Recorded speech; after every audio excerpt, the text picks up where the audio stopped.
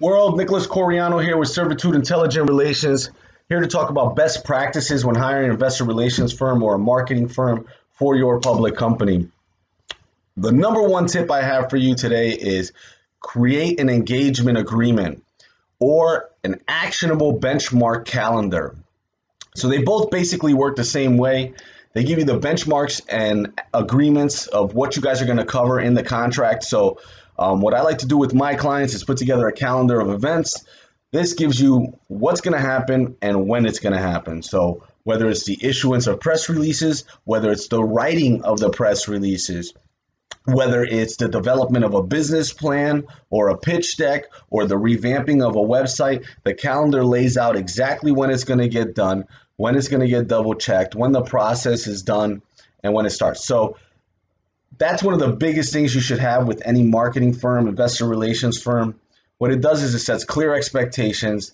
There's no um, disagreements, um, and everything works smoothly. So, if you guys are thinking about hiring an investor relations firm or a marketing firm, remember put together a calendar or an engagement agreement. If they don't give you one of these things, what ends up happening is there's a lot of back and forth as to what work should have been done or what work could have been done and there's really no way to benchmark progress. So put together a calendar or an, uh, an agreement, really a contract um, that clearly delineates the deliverables, right? What am I getting for my money that I'm paying?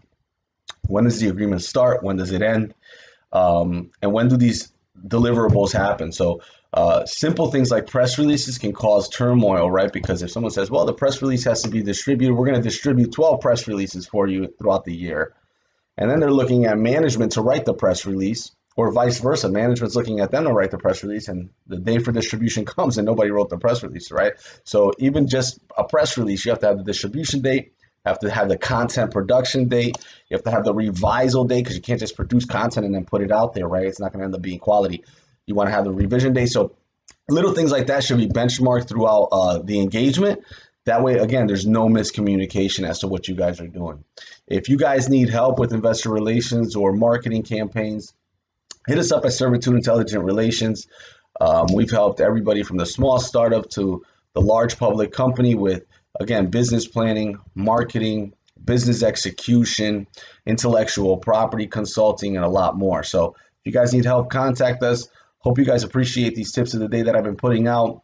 If you guys have any comments on best practices, put them in the comments section below. We'd love to hear about it. And um, hope you guys are rocking. Have a great day.